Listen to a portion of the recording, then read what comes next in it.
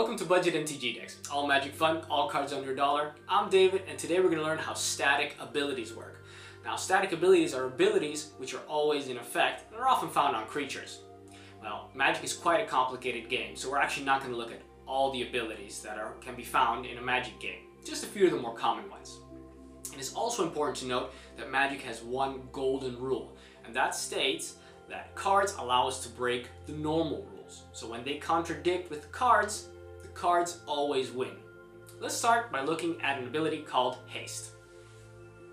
A creature with haste may attack and tap on the same turn it comes in. This overrides the normal rule of summoning sickness, which states that creatures may not do this. An example of a creature with haste is Raging Goblin. As you can see in the ability section, Raging Goblin has haste, and so can attack and tap on the turn it comes in. If we continue where we left off in the last video, we see that it's our opponent's turn.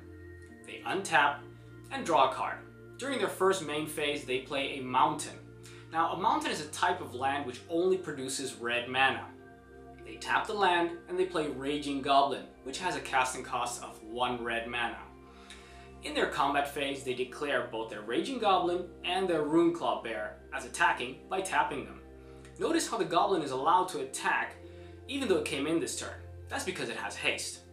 Now it's our turn to declare blockers.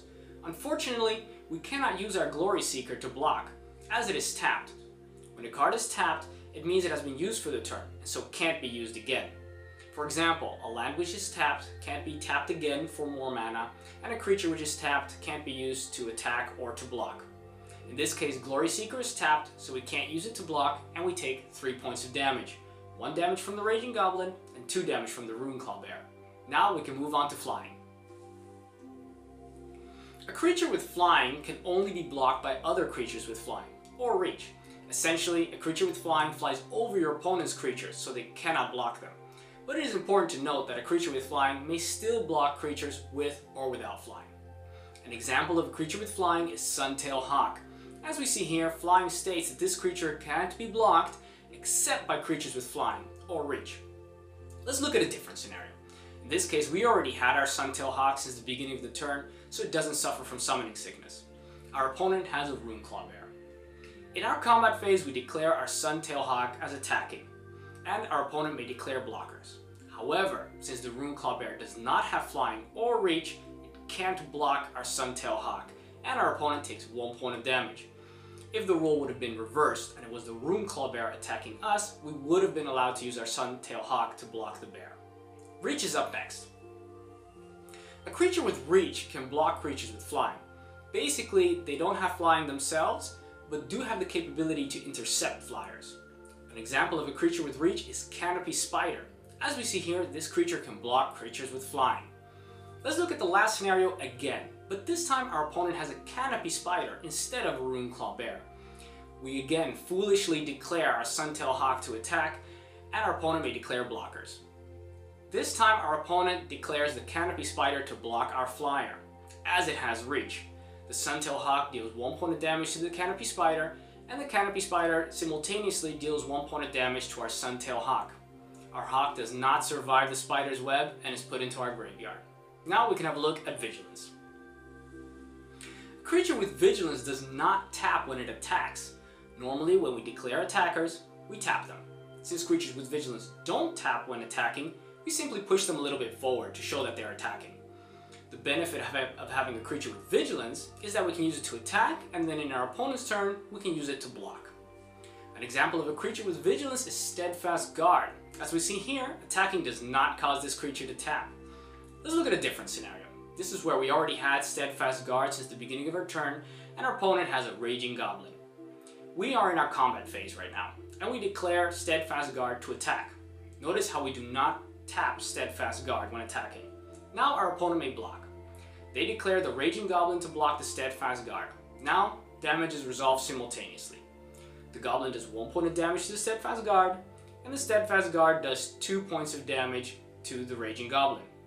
Notice that even though the Goblin only has 1 point of toughness, the Steadfast Guard is still fully blocked and must do its complete 2 points of damage to the Goblin, even though 1 point of damage would have been enough to kill this 1 toughness creature. Okay, let's move on to Trample. When a creature with trample gets blocked, if it deals enough damage to destroy the blockers, you may assign the remaining damage to the defending player. So basically a creature with trample can trample over smaller creatures and still damage your opponent. An example of a creature with trample is Garruk's Companion. As we see here, trample allows this creature to assign the rest of the damage to your opponent once enough damage is dealt to destroy the blockers. Let's pretend for a moment our opponent already had a Garruk's Companion since the last turn and it's now their combat phase. They declare Garruk's Companion to attack by tapping it. Now we may block, and we decide to do so with our Steadfast Guard. Steadfast Guard deals 2 points of damage to Garruk's Companion. However, Garruk's Companion does not deal its 3 points of damage to Steadfast Guard. This is because it has Trample, so it deals 2 points of damage to Steadfast Guard, because that's sufficient to destroy it, and the remaining 1 point of damage to us. Now we can have a look at Lifelink. When a creature with Lifelink deals damage, you gain that much life. So very simply, when a creature with lifelink deals damage to a creature or a player, you will gain the same amount of life as the damage dealt.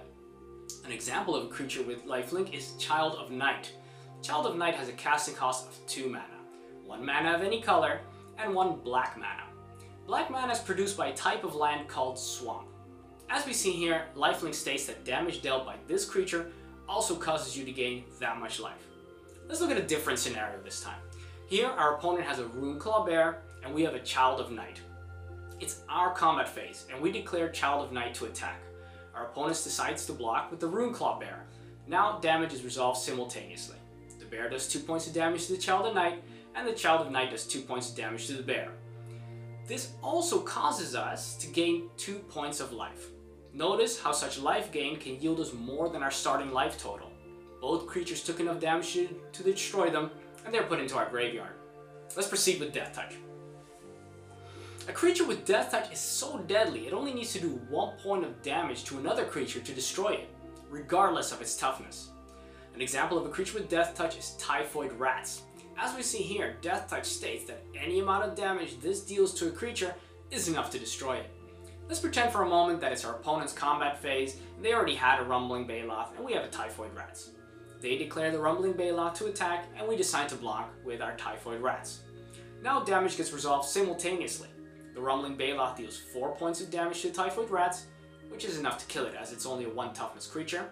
At the same time, the Typhoid Rats deal 1 point of Death Touch damage to the Rumbling Baloth.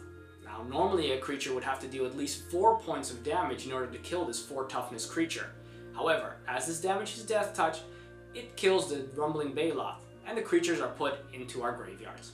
Now let's have a look at First Strike.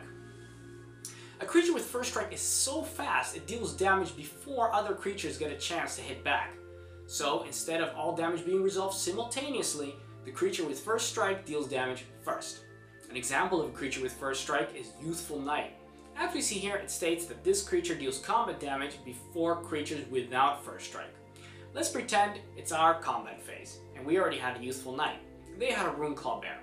We declare Youthful Knight as attacking, and our opponent decides to block with their Runeclaw Bear.